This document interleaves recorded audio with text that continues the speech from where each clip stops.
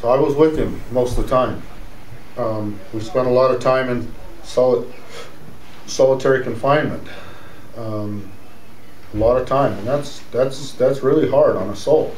It's really hard on your mind. Uh, you know, their intentions are to break you down, to stress you to the point that you will conform with what they want you to do. It's complete dominion, complete. Um, they're exercising complete power and authority over you. And a man inside that jail is not afforded any rights at all.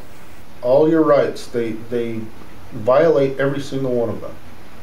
And uh, you know, I could go on about how that's wrong and in different ways, and especially under pretrial. Mhm.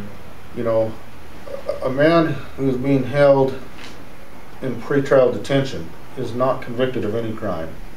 He's not guilty, and therefore he's not subject to punishment or correction. And yet he's being treated as the same as, as any convicted criminal. And uh, anyway.